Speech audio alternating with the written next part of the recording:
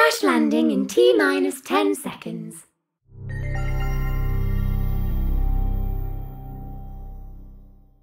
What's up guys, Tim here from Audio Tutor. Today we are talking about sound effects. Yep, sound effects, a topic that isn't discussed as much as it should be in the audio world, and so I hope we can cover it more in the future at Audio Tutor. Today we are talking about this computer voiceover that was designed and created for the family friendly musical The Magical Hat Shop by Jake Dale and Patrick Buckley. This is a theatre production, and in this scene, we see the characters on a spacecraft about to crash land on the moon of course. Uh, but before they do, the onboard computer warns them that they will be landing in T minus 10 seconds, and then it counts down from 10 to 1, and there's a little bit after that as well. So, my job here was to record the wonderful actress Hannah Goodwin reading these lines, and then to transform her vocal performance into this spacecraft onboard computer voiceover.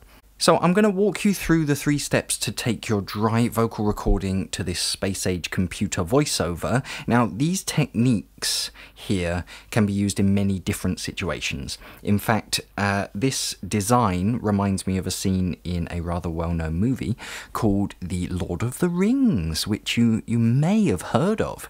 Um, there's a scene in that movie where the White Queen, I believe her name is, uh, she gets all angry about the ring and says something like, uh, instead of a queen, you would have a mighty sorceress, la la la la la. And her vocal kind of jumps an octave and it gets all scary and, and whatever. And basically, the process used on her vocal there is very similar to what we're doing today to create this otherworldly computer voice. So it's, it's similar. That's an example of how you could use the same processing in a different scenario. Okay, as I said, there are three steps. Those are number one, clean, number two, pitch, and number three, space.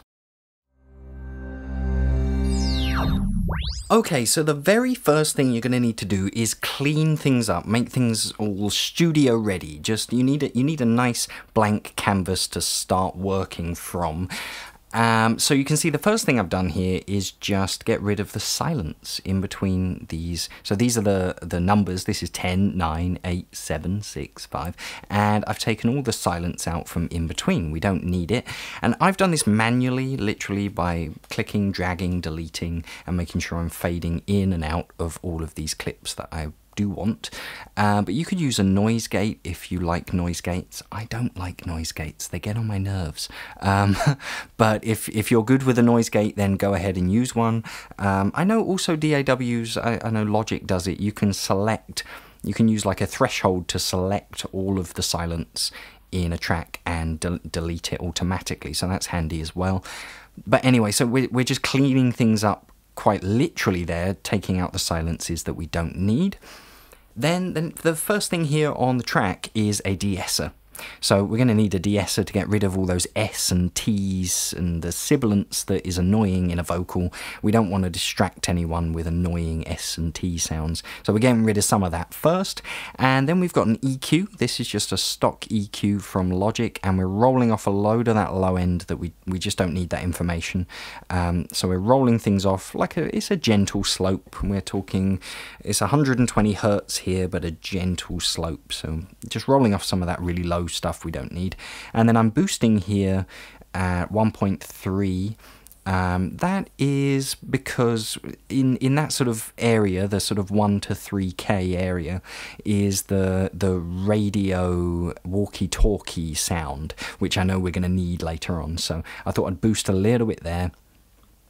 Then the last thing I'm doing is I've got a 1176, and we are reducing 3 to 4 dB and making that back up again with the makeup gain here and we're getting a nice bit of saturation from the 1176 as well. So we've now just got a nice vocal sound, something that just sounds clean and studio ready. Let's have a listen. Crash landing in T minus 10 seconds.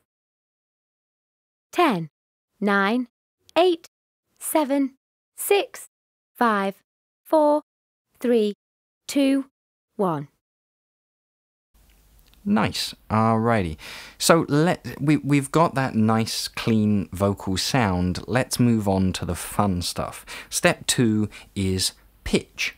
And this is where things start to sound really different and interesting. So what we've done here, we've got a send. This is sending to bus 4 as you can see. Uh, what essentially that means is we're basically copying, we're doubling up this vocal um, so now there are two Hannahs saying these same lines, and the second Hannah, we on the second Hannah we've put a vocal transformer, and we're taking the pitch up by five semitones and the formant up by one, just to make a bit of a difference, make it not sound exactly the same.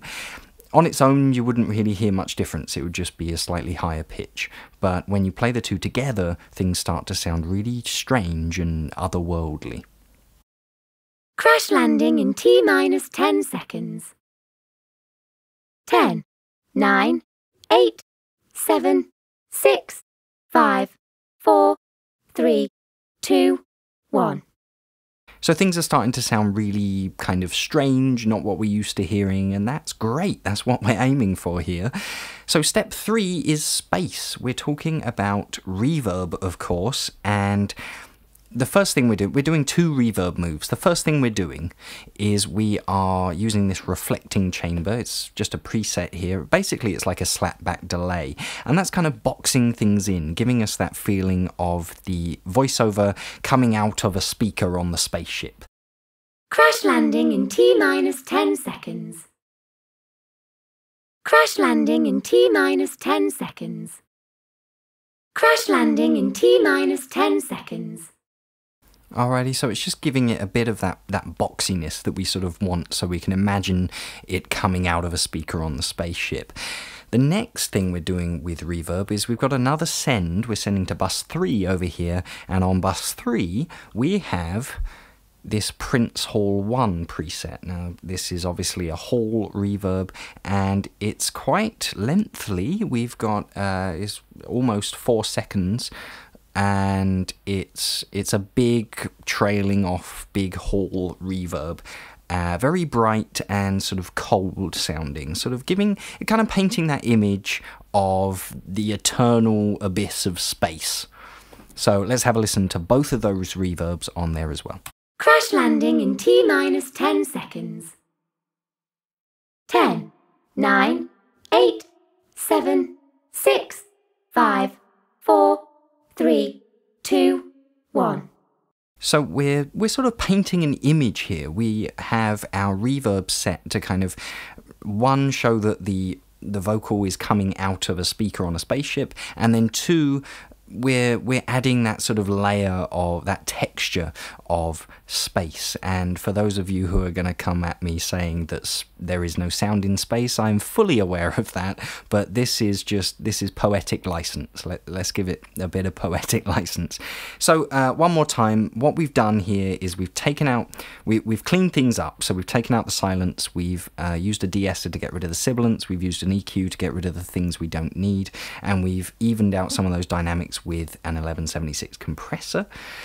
Then we looked at pitch and we started messing around with pitch to kind of make things sound very different and otherworldly. And then we looked at reverb to kind of put the vocal into a space that was relevant to the scene that we're looking at. So, um, one last time, what I'm going to do is just play you Hannah's clean vocal without any effects on, and then I'll put the effects in so we can see the crazy difference we're making here. Crash landing in T minus 10 seconds. 10, 9, 8, 7, 6, 5, 4, 3, 2, 1. Crash landing in T minus 10 seconds. 10, 9, 8, 7, 6, 5, 4, 3, 2, 1. Crash landing averted. Safe landing successful. Have a nice day. Nice. Nice one. Alrighty, so if you are maybe you're uh, an actor or you're producing a show, or maybe you're just interested in sound design in theatre or in film, and if that sounds like you and you you don't know much about audio and you're not really sure the equipment you might need to get started, well, I have the exact thing that you need. I have an ebook for you that I wrote. It's a 25 page ebook that has all of the equipment you're going to need to get started recording and mixing on an affordable budget. And so we're going to run we run through things like um, converters and DAW recommendations. It's got all of my recommendations. It's got the equipment that I started recording and mixing on. It's even got a chart at the back of the book so you can keep track of your spending and all of that stuff. So it's absolutely free, by the way. I don't know if I mentioned that. Absolutely free for you to download. There's a link in the video description. You just click on that, give me your email address, I'll send it right over to you. So go ahead and check that out. For now, my name's Tim from Audio Tutor. Ciao.